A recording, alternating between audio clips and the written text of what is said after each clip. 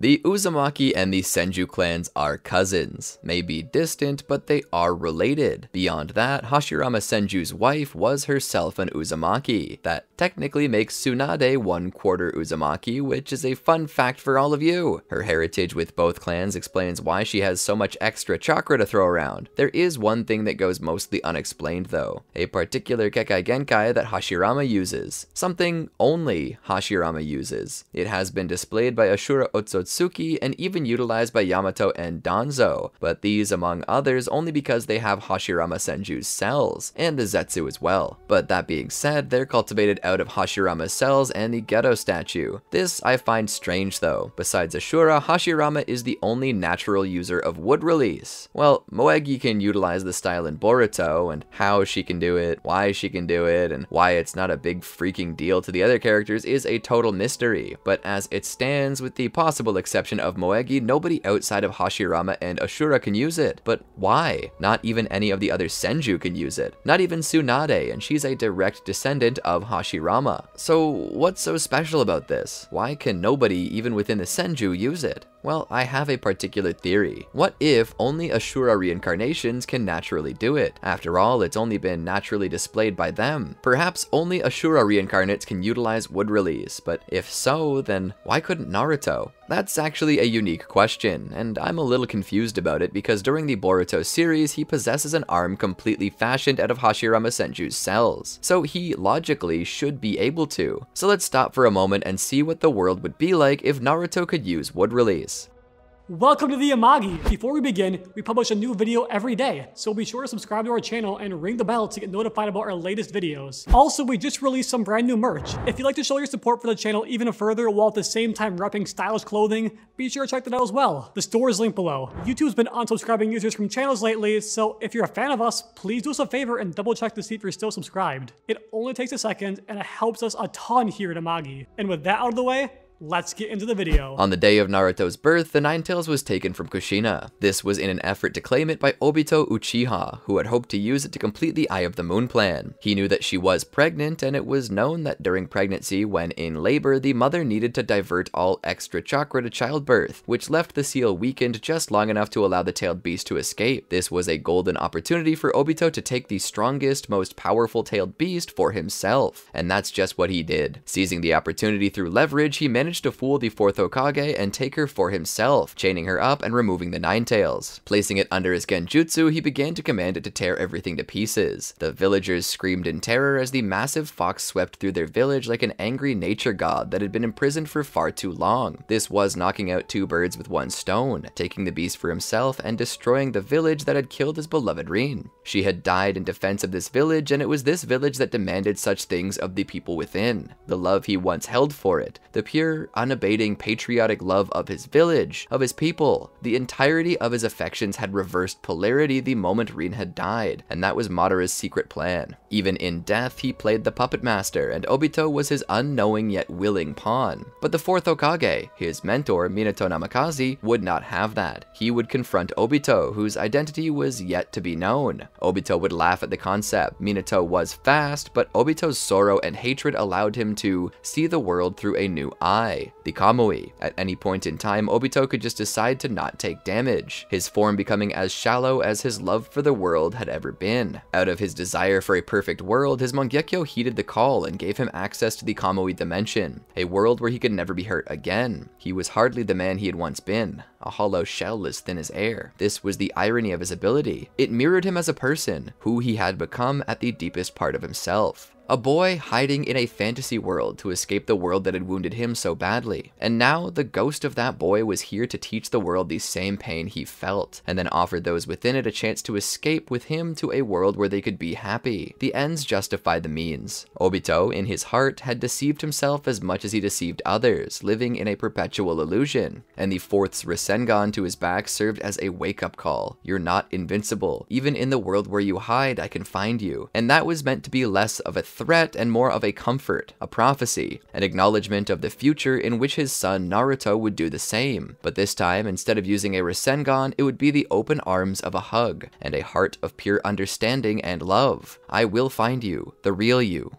a promise Obito had yet to understand, one yet to be fulfilled. But with that, the contract was broken and Obito fled the village to tend to his wounds as Minato proceeded to deal with the threat of the nine-tailed fox. Kurama, in his rage, smashed through the village, attempting to destroy everything. They had used and abused him for the last time. No more. They would have the chance to do this no more. Judgment Day had come for them on October 10th, and as Naruto took his first breaths, the village was taking its last. That was until the yellow flash of the leaf, like a shining beacon of hope in the night, appeared and tore the fox away from the village, beyond the mountains to defeat it. There, it had been decided to seal it away. Now, actually, I want to add another element to this what if. I want to consider what happens should Naruto have wood release and wood release only as his special power. I plan to take away the Nine Tails from him, and in doing so, free his path to follow something new and special. In accordance with this line of thought, let's say for a moment that Minato was too weak and so helplessly believed he could save his wife. And for this moment only, let's believe that Kushina knew her limits enough that it were true,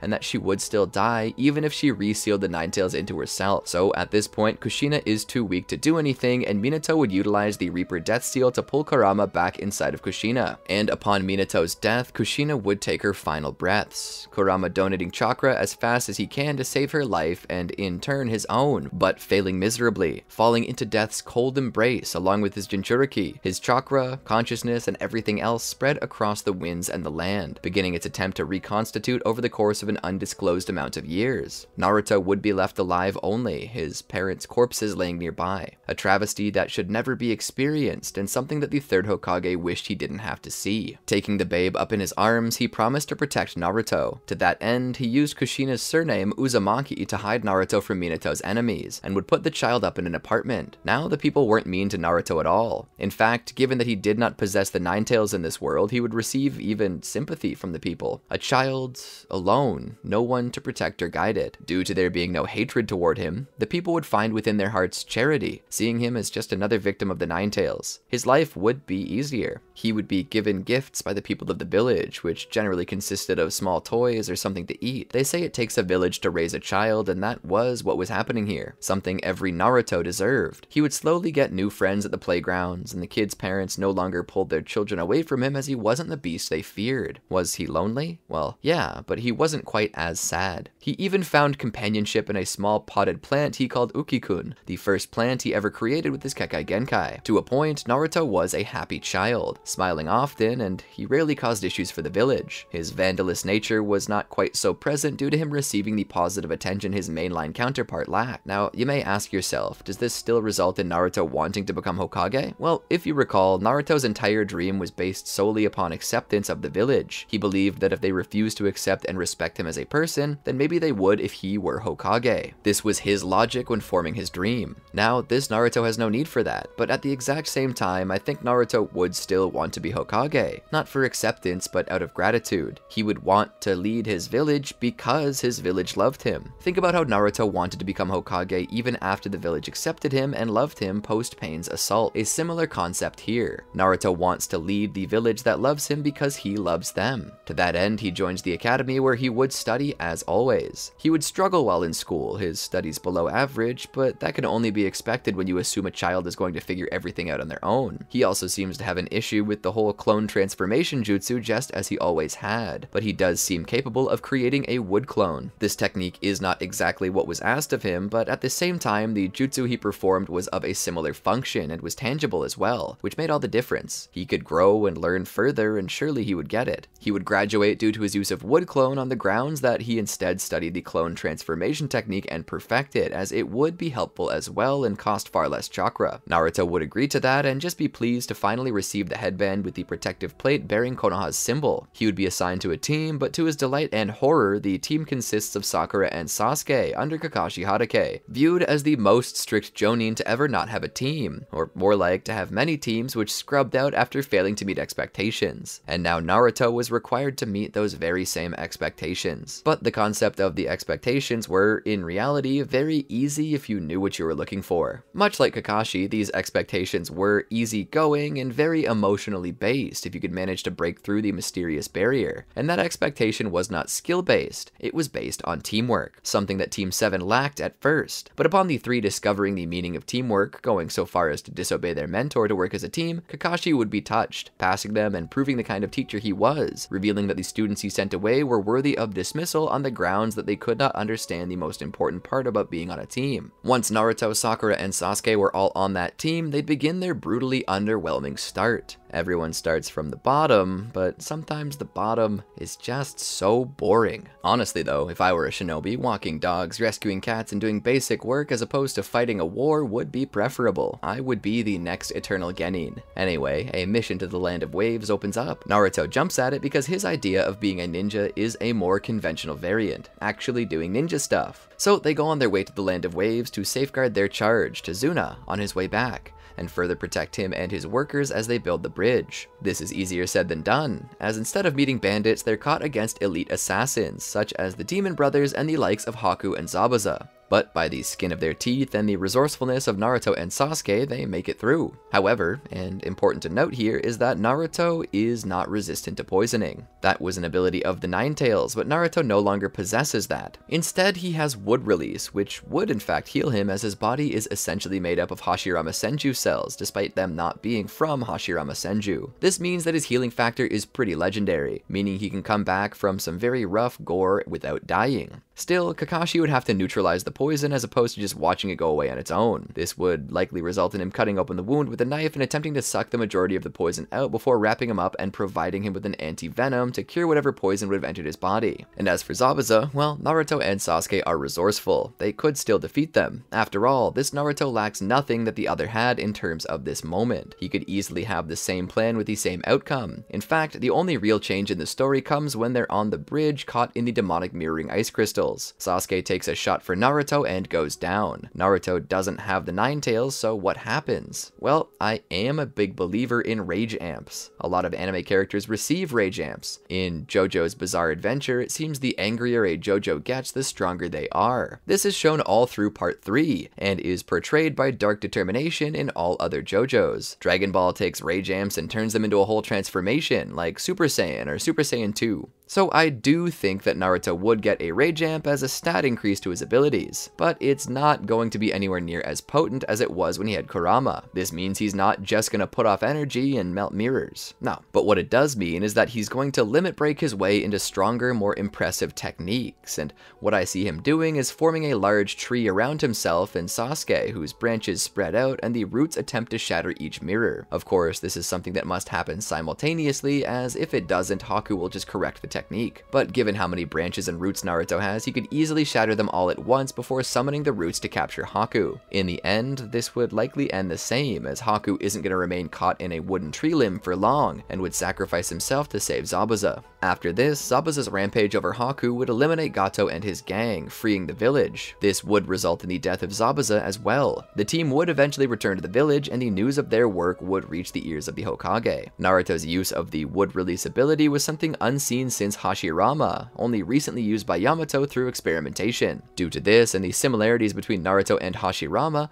as well as the skill he displayed, Naruto and Team 7 would be recommended for Chunin level, to which Team 7 would gladly accept. Joining in with the rest of the Rookie 9, they would begin the tests, the first of which is a written one. Of course, this isn't as hard for Naruto as it would be in the main timeline. Why, may you ask? Because unlike before, Naruto has a way of properly cheating, something he didn't before. And before you mention Hinata as a viable way, Naruto didn't want to risk her failing for him, so he refused to use it. The way I'm thinking is a bit more secretive. We know that Naruto is a wood release user, so what kind of trick could he pull off with that? Well, Tables are wood, so are pencils. The paper itself is technically a form of wood. All Naruto needs to do is utilize wood release to connect him to these items to get a good guess at what's going on. With it, he can easily guess the correct answers through cheating, and when the final answer to the test comes up, Naruto is so confident due to his cheating that he would take it as well, thereby passing the test with pure gutsiness. The second test is the Forest of Death. This would also be a lot easier for him as Naruto would be in his element. A forest can only be a forest if there are trees,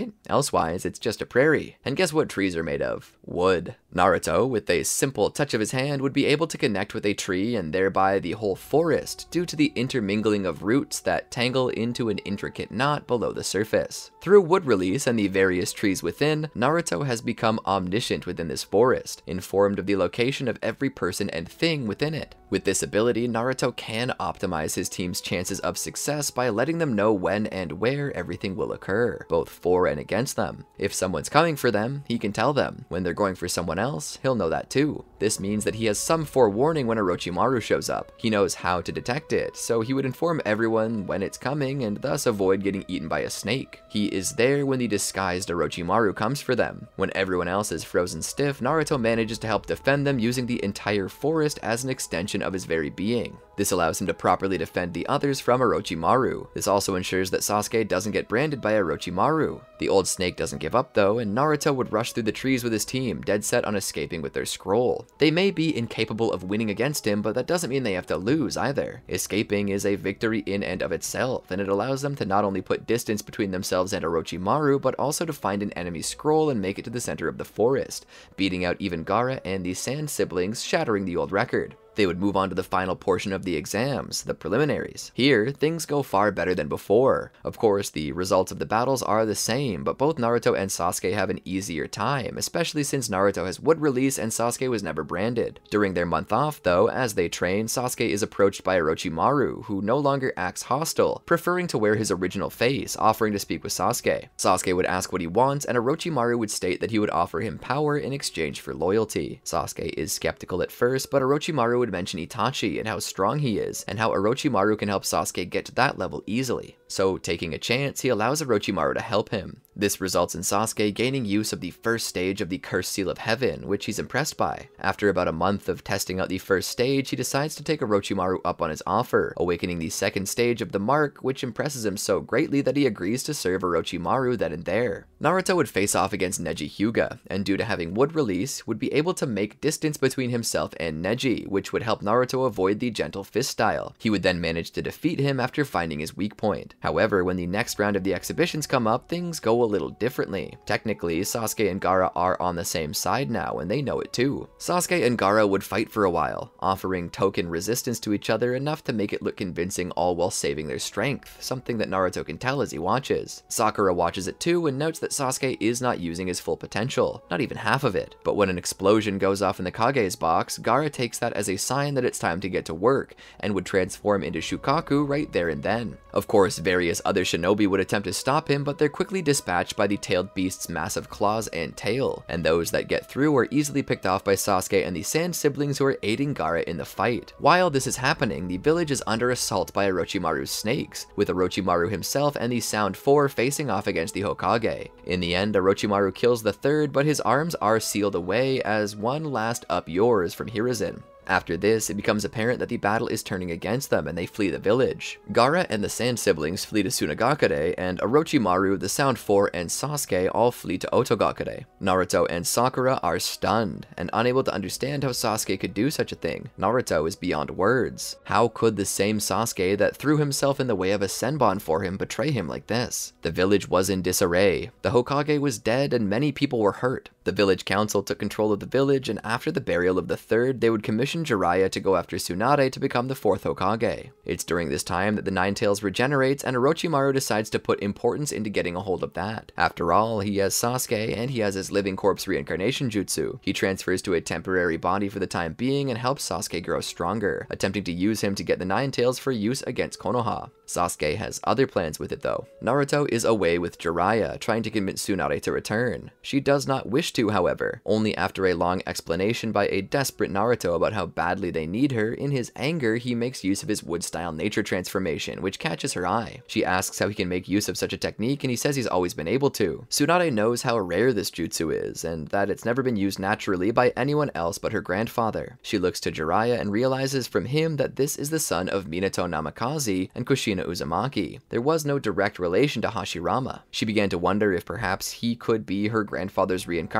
Her interest piqued by this new development, she decides to come to the village to become Hokage. While there, she begins to look through any files on Naruto, his parents, Root, the Anbu, anything she could find on Naruto or Wood style. Coming to the realization that he is merely a normal, natural kid with the power of Wood release, she begins to suspect a deep connection to her grandfather, something even she could not achieve as a direct descendant. After all, neither Hashirama's descendants nor ancestors could achieve this technique. Was it possible that he could be Hashirama? As time went on, she interviewed the boy and heard of his loyalty to the village, his love of his people, and his desire to be the Hokage, specifically for the people. She witnesses within him the burning flames of the will of fire, and every moment she spends with him, she sees more and more of Hashirama in him. The dopey nature, the serious attitude towards things of importance, and even a similar laugh. He had vices, and while he did not drink, he wasn't opposed to gambling. He did possess the sexy jutsu, which did remind her of Hashirama, as her grandmother claimed that he was a little perverted in his younger years. It's then that Tsunade begins to see it coming. This boy will eventually become Hokage, and she will make sure it happens. But to that end, she believes that he should train to grow stronger, something that he plans to do as well in an effort to retrieve his friend, Sasuke. She tells Jiraiya that she wants him to oversee his growth, and then says that she plans to show him the way her grandfather once walked, an unexplored area where a great power can be found. She would summon a slug to her, a part of Katsuyu. She tells Naruto what he must do. She says that if he goes to Shikotsu Forest, there he will find the Slug Sage. She says she traveled there once, which is where she found Katsuyu, and she states that she considered learning Senjutsu, but it never really appealed to her, as it would have given her slug-like features, which she wanted nothing to do with. But she states that with proper training, Naruto might just achieve it. So she gives him a piece of Katsuyu to lead the way, and sees him to the gate of the village. Before she leaves, she decides to give him the first Hokage's necklace, and ruffles his hair, wishing him good luck. Jiraiya is a little upset that they're not going to Mount Myoboku to learn from the toads, but Tsunade is adamant that he will learn the same way her grandfather father did, in hopes that Naruto will become as great as Hashirama. As they leave, they follow the directions of Katsuyu. Eventually, they're led to a thick forest of massive trees, so large that Naruto would gawk, having never seen a tree so tall and wide before. A heavy mist lays over the forest, which makes it hard to see, but Katsuyu seems to love it. It's damp and cool, something Katsuyu states that she misses. They cross a wide river. Everything in this forest seems so large, and by comparison, Naruto and Jiraiya feel like bugs compared to everything. Eventually, they're led to a large stone, and beneath that stone is a hole in the ground. Traveling in under Katsuyu's orders, they would see many slugs, some of which are enjoying large leaves and sap, but then they reach the biggest slug of them all, wearing a pair of glasses and drinking a beer. Yes, drinking a beer. The Slug Sage sees Jiraiya and immediately identifies him as a Toad Sage mode user and demands that he leave. Katsuyu vouches for him though, and the Sage relents on the condition that Jiraiya not summon any Toads. Katsuyu asks the Slug Sage if they'll teach Naruto the art of Sage mode. After looking at Naruto, the Slug Sage states that Naruto may be the reincarnation of Hashirama Senju, something Katsuyu states that Tsunade believed he was as well. Due to this, the Slug Sage decides he will teach Naruto, and so Naruto is taken outside by the river with various other slugs. They tell him to strip down, much to his horror, but they claim to be serious about this, so he begrudgingly does as they say. Once he's ready, he asks what comes next. The sage sitting above him then spits on him, drenching him in saliva. Naruto is both annoyed and disgusted and considers just jumping in the river, but the sage tells him not to. Instead, he just sits there as other, smaller slugs begin to crawl all over him. Jiraiya is trying not to laugh, but he begins to peg it though. He asks the sage if these slugs are helping him absorb sage energy, and he states that they are. He says that they're secreting a slime that naturally takes in natural energy. Jiraiya nods and mentions that the toads use a similar technique. The slug sage states that it goes further, as when these slugs detect him gathering too much, they will help him regulate, keeping him from dying from the use of it. Jiraiya nods in understanding, but then asks what the spit was for. The sage states that it was to coat him in beer, as slugs like the sweet smell of yeast, much like they love sap, and that the spit is more of a treat for the slugs as opposed to anything for Naruto. Jiraiya asks why the sage didn't just pour beer on him, and the sage states that he didn't want to waste any beer.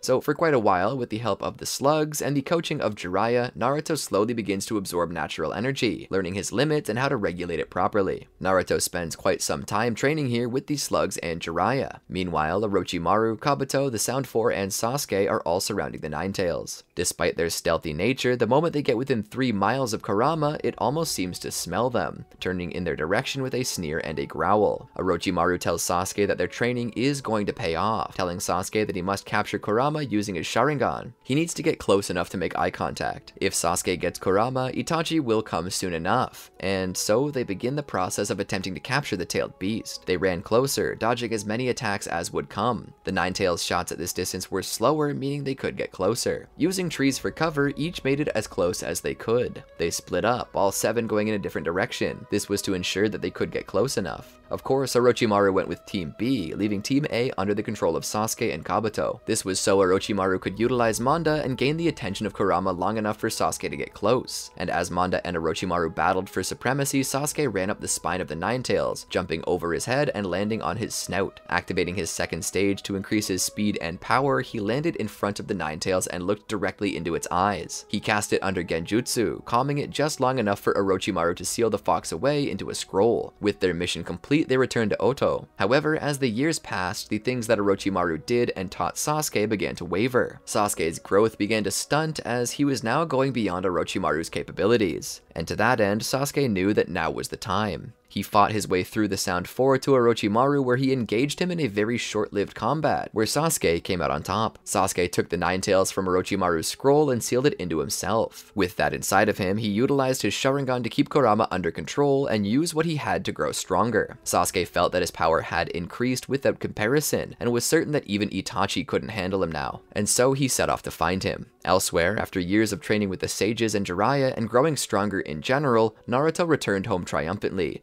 utilizing the same sage mode that Hashirama had so many years prior. At that time, Gaara had been kidnapped, but Konoha would not get involved. After all, there were strained relations with Suna after the incident with the Chunin exams, which left the Hokage dead. Gaara was still unstable and would not have become Hokage, meaning someone else would have. It would have been kept an internal affair even if the tailed beast was stolen. Due to this, Konoha never hears about the threat of the Akatsuki. All the while, Sasuke locates Itachi and proceeds to fight him. Even though Sasuke did not awaken Mangekyo by this time, the power of the Nine Tails allowed him to overshadow Itachi's power, which in the end allows him to win. It's then that Tobi, under the guise of Madara Uchiha, would tell Sasuke the truth about Konoha and Itachi's hand in the slaughter. Obito tells him this specifically to rile him up against Konoha. The reason is he hopes Sasuke will devastate the village as well as all other villages and hopes that it will make it easier to acquire all of the tailed beasts. And to that end, he elects to allow Sasuke to maintain the Ten Tails for a time. His words have the intended effect on Sasuke, who decides that he will eradicate the village for what it did to Itachi. Sasuke takes Kurama and begins his march on Konoha. When he arrives, he would summon the tailed beast and proceed to lay waste to the village, but Naruto shows up utilizing Sage Mode to stop him. To face off against Kurama, he uses his Sage Art Wood release, true several thousand hands in an effort to fight Kurama. Even Sasuke is surprised by the size and power of this statue, but is undaunted, deciding to utilize his Susanoo to cover Kurama in majestic armor, before utilizing a tailed beast bomb to destroy the statue. However, the statue and its many hands reach out to grab Kurama. Naruto rushes down and begs Sasuke to stop, but Sasuke refuses and the two fight. Sasuke utilizes his second stage curse mark while Naruto utilizes slug sage mode. As they fight, he keeps asking Sasuke to stop, but it becomes apparent that he won't. Generally, Naruto would never consider killing Sasuke, but considering that he's bringing the Nine Tails into this and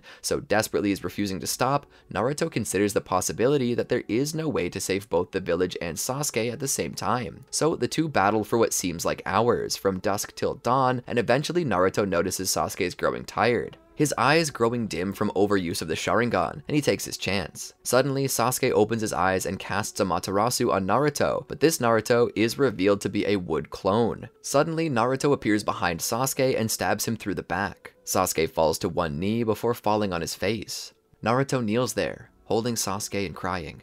Damn it, you fool. Why'd you make me do this? Sasuke doesn't respond. Instead, as a last-ditch effort to destroy the village, he releases Kurama entirely to run amok. Naruto lays his friend down gently and then utilizes his wood human technique to get close enough to the creature. His necklace glows as Naruto reaches out to touch Kurama, the point of his hand reading sit. He utilized the Hokage-style 60-year-old technique entering society with bliss-bringing hands to pacify the Nine Tails. He proceeds to seal it within himself as a member of the Uzumaki, famed for their sealing jutsu, but this does not bode well for Naruto as the Akatsuki are upset from having lost their tailed beast, and Pain comes back personally to take it. However, due to Naruto's training and abilities, he manages to defeat Pain. But this is not the end of their troubles, as Kabuto teams up with the Akatsuki and proceeds to provide Obito with the Edo Tensei he requires for war. And because of this technique, they're able to revive the Gold and Silver brothers, making it so that they don't need to use it, allowing him to activate the Ten Tails short one complete tailed beast. Naruto and the Shinobi of the Leaf engage Obito in combat but find themselves too weak. However, Naruto, after having received chakra from the Sage of Six Paths, manages to not only defeat Obito but to pull the Ten Tails from him. Before they can end the threat though, a newly revived Madara takes the Ten Tails and readies to cast the Infinite Tsukiyomi, but his whole being is hijacked by Kaguya, who plans to make use of the Infinite Tsukiyomi to reclaim all of her chakra. Naruto would manage to protect himself, Sakura, Kakashi, and a reformed Obito from the Genjutsu using his truth-seeking orbs, but the battle is far from over. They traveled through her dimensions where they managed to get just close enough to seal her